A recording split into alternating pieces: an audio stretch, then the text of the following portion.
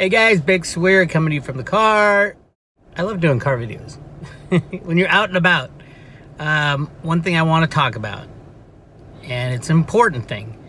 When cryptos, when silver, when moonshot, when is the price and value of cryptocurrencies and precious metals in this time of economic turmoil and geopolitical turbulence going to be realized. And there's something big that everybody has to keep in their mind.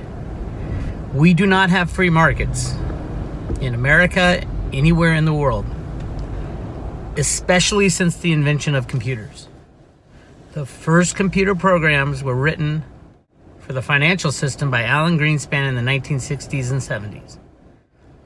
With the help of Arthur Burns, the head of the Federal Reserve, he implemented computer trading programs into the Fed, into the Exchange Stabilization Fund. So, since the 1960s, we have not had free markets. Now, many argue that long before that, we have not had free markets, and I would agree. But the degree of control and manipulation is at 100% and it has been since the invention of computers. And you got to get that into your head if you're going to understand why cryptos go up, cryptos go down, gold goes up, gold goes down, silver goes up, silver goes down. 100% every day, every trade, although they don't have to do it on every trade, 100% manipulation and control. Now, so you might say, why the hell would anybody invest in an asset, no matter what the dynamics are, the reasons for doing it, in an asset that is 100% controlled and is guaranteed in the most difficult times not to go up. And that's a it's a valid question. And it's one I've asked myself for the last 20 years while being a gold and silver investor and then in the crypto markets. Why do we put ourselves through this if we know it's rigged and they can place the price at zero with a click of a mouse? or at a million dollars with a click of a mouse. Why do we do it? The reason I do it is for the end of manipulation. And the end of manipulation is coming. Like all manipulations, it ends. But this one just happens to have gone on silver for 150 years, gold for probably longer than that, but not really because gold's not as important as silver. But and obviously cryptos since the day cryptos were invented. Now, why do I think it's ending? And I do think it's ending. In the Road to Roota documents from the Federal Reserve Bank of Boston, it, it plays out the whole thing.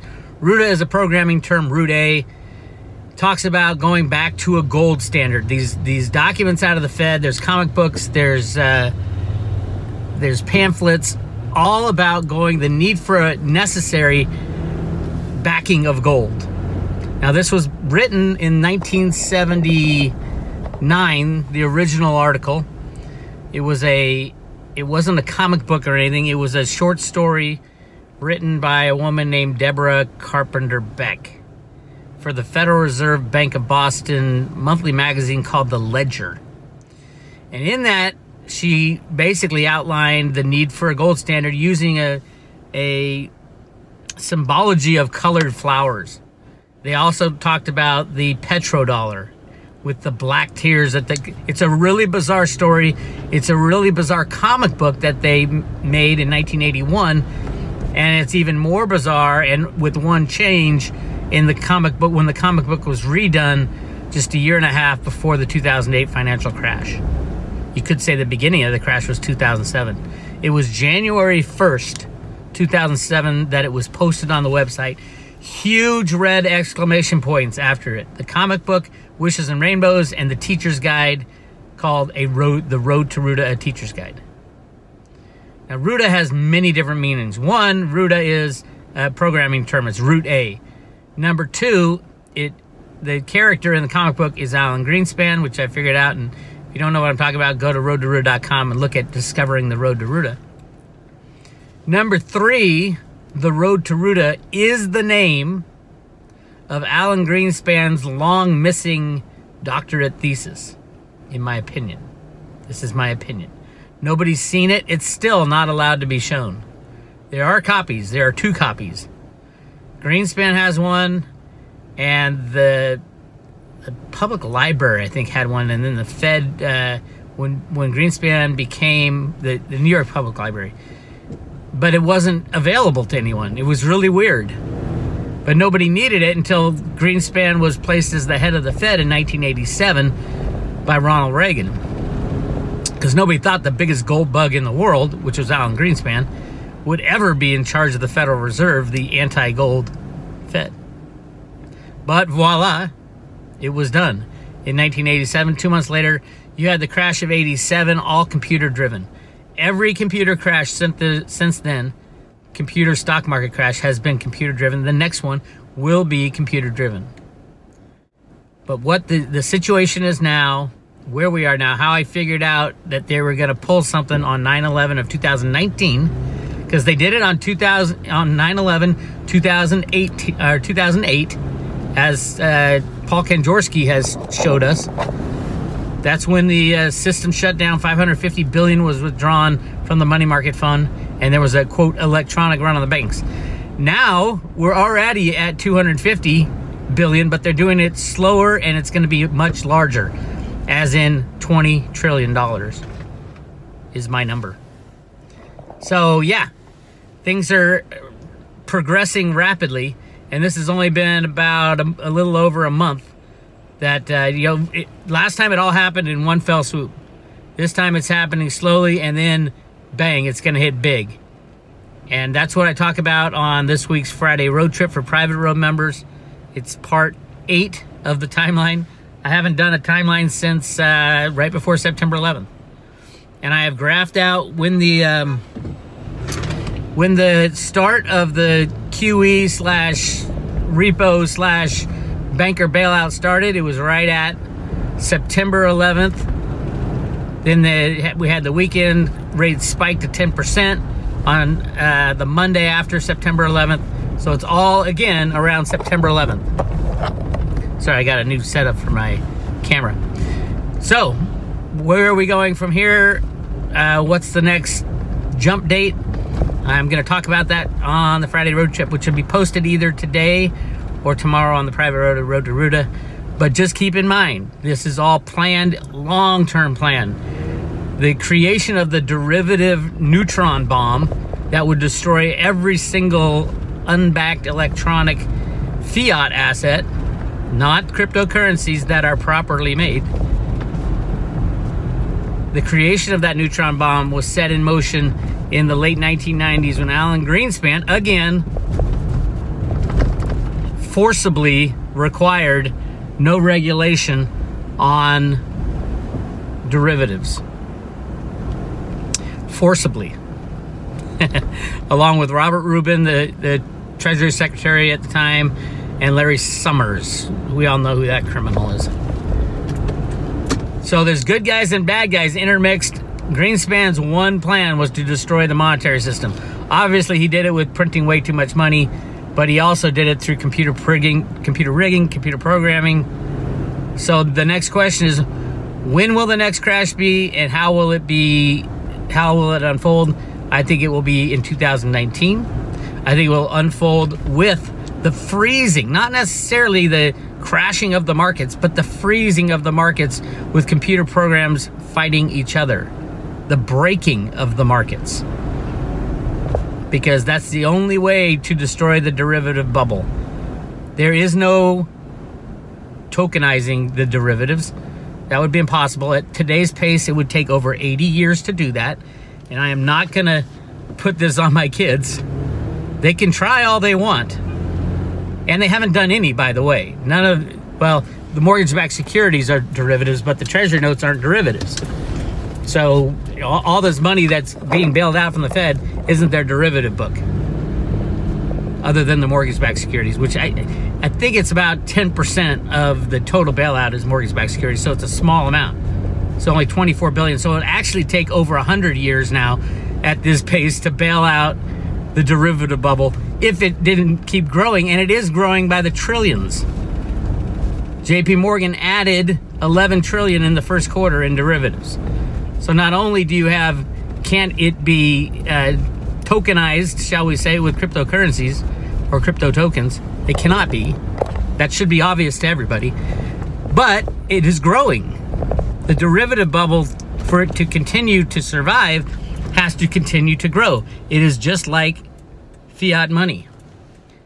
With fiat money, money, debt based money, you have to continually grow the debt based money or there's no money to pay the debt. The derivative bubble is the same way. Unless you keep derivatives going higher and higher and higher, bigger and bigger, you cannot deal with the ramifications of uh, reality. And that's all that derivatives do is augment reality. So what does that mean for us today? It means hang on to your freaking hat because it is all happening as planned, as designed. Now they've tried to crash the system many times in uh, 1980s with the the uh, increase in inflation to 20%, all planned. Remember, inflation is a number that they choose. They don't have to say, you know, there's 20% inflation. They could just say, hey, there's 2% inflation, and could, because we have the data, we're never wrong. and that's what they've been doing. So, yes, the 80s, then 2000, uh, 2000 1987, the, uh, then the uh, savings and loan debacle was all part of the attempt to take down the old system. That didn't work out. 2001, the bubble created by the dot comers, that didn't work out. 2008, that didn't work out. This is the biggest one ever. This is a bond bubble. And the bond bubble is so big that there's no way around it. We got a truck stopped in the middle of the street. So yeah, it is a big deal what's going on right now, and um, but it's all planned. It's all planned computers and derivatives, and what do you do? You protect yourself. Get your assets in your own possession 100% of the time. I don't care how nice the person is who's holding your gold, your silver, your cryptos. How many people like Litecoin? How many people are happy that many years ago Charlie was sitting at his computer and said, hey, you know, I'm gonna make a clone of Bitcoin, but it's gotta be faster, it's gotta be cheaper, it's gotta be better. I'm gonna make it the silver of Bitcoin's gold. Thank you for that. That was a good moment. That was a great moment. So this is this is our tribute to uh, Litecoin. And and to you people, you lovely crazy people. Ready? We're gonna go fast or slow? We got drums. It's your song. like, like I'm ready, no, no, no,